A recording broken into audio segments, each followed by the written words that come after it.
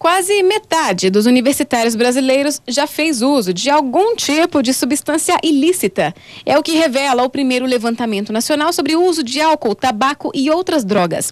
O perfil dos usuários? Mais de 35 anos de idade, matriculados em cursos da área de humanas no período noturno e principalmente no sul e sudeste do país. O jovem ele entra na universidade, ele se sente adulto, ele vai ter experiências que ele nunca teve antes, experiências às vezes ligadas a esporte, à vida sexual, a novos amigos, a um outro status na vida dele.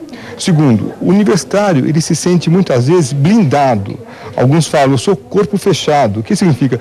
Eu vou usar drogas, eu não quero ficar dependente, eu não vou ficar doente. Imagina, tem um futuro brilhante pela frente. Mas eu vou usar porque está todo, todo mundo usando. E número três, a pressão de grupo é fantástica. Ele vai num ambiente onde os outros estão usando alguma droga, ele quase se sente obrigado também a usar.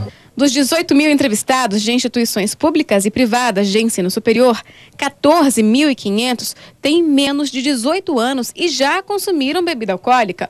18% dos jovens já dirigiram sob o efeito de bebida e 27% já pegaram carona com um motorista embriagado. O estudo revela também que mais de 7 mil entrevistados usaram duas ou mais drogas nos últimos 12 meses e que o fumo é um hábito de 22% dos jovens do ensino superior. Na Universidade de São Paulo havia um consumo de droga em 2001 que caiu significativamente agora em 2009. Então nós insistimos que a prevenção ainda é o melhor caminho.